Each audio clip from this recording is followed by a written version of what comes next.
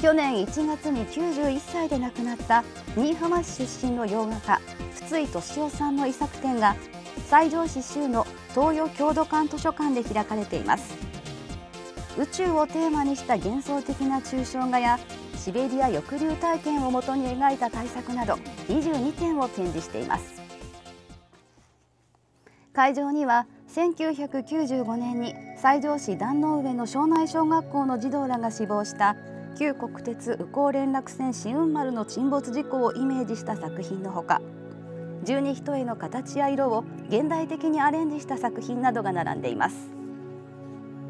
シベリア抑留の過酷な体験をもとにした作品は氷ばかりの大地とアリのような人間の姿を縦およそ131センチ